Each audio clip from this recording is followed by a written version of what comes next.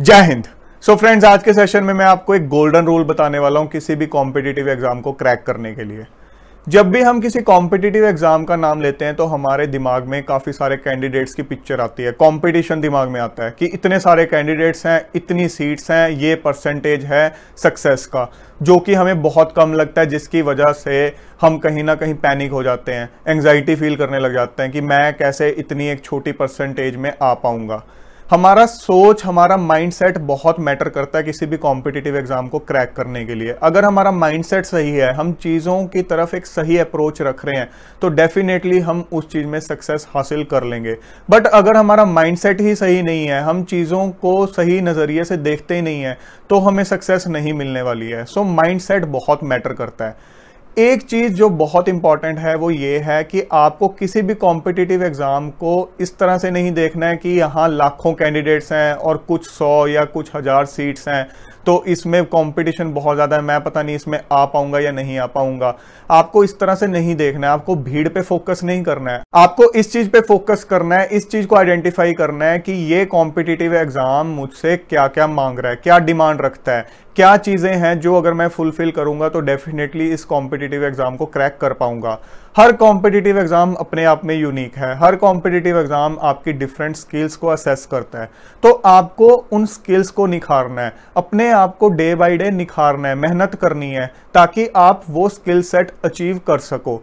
आपने कभी filter paper देखा है? आप एक फ़िल्टर की तरह इमेजिन करो इस चीज़ को कॉम्पिटिटिव एग्ज़ाम के प्रोसेस को।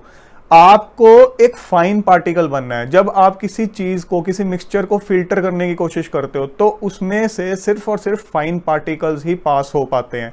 सेम वे कॉम्पिटिटिव एग्ज़ाम है। जिस भी कॉम्पिटिटिव एग्ज़ाम की आप प्रेपरेशन कर रहे हो, अगर आपने उसको समझ लिया, उसके प्रोसेस को समझ लिया कि ये एग्ज़ाम मुझसे क्या चाहता है कौन कौन से स्किल्स चाहता है, और उसके बाद मेहनत करते हुए, दिन रात मेहनत करते हुए आपने अपनी वो स्किल्स उस लेवल तक निखार ली तो दुनिया की कोई ताकत आप आपको वो कॉम्पिटेटिव एग्ज़ाम क्रैक करने से नहीं रोक सकती, चाहे उसमें जितनी भी कम सीटें हो। कॉम्पिटेटिव एग्ज़ाम भी एक फ़िल्टर की तरह ही है। जिस तरह से फ़िल्टर पे जब आप लाखों पार्टिकल्स रखते हो तो फ़िल्टर अपने थ्रू सिर्फ़ और सिर्फ़ फाइन पार्टिकल्स को ही जाने देता है। वही फाइन पार्टिकल्स जो उसके डिफाइंड पैरामीटर्स को फुलफिल करते हैं। उसी तरह कॉम्पिटिटिव एग्ज़ाम के थ्रू भी आप तभी पास कर पाओगे जब आप उसके जो डिफाइंड पैरामीटर्स हैं, जो स्किल सेट्स चाहिए, उनको फुलफिल करते हो।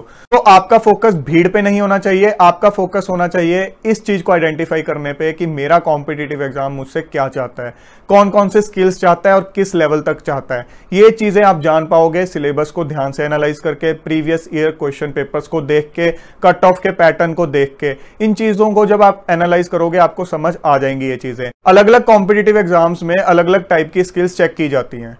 किसी में आपकी एनालिटिक एबिलिटी चेक की जाएगी किसी में स्पीड किसी में एक्यूरेसी किसी में आपकी speaking skills writing skills reading skills किसी में mixture of the skills so आपको ये चीज़ आइडेंटिफाई करनी होगी। सो so, दोस्तों भीड़ से डरना छोड़ो आपके अंदर कोई कमी नहीं है। कमी है तो सिर्फ़ स्किल लेवल की उसको एक एडिक्वेट लेवल तक लेके जाओ खुद पे भरोसा रखो और इस कॉम्पिटिटिव एग्ज़ाम के फ़िल्टर से सक्सेसफुली पास हो।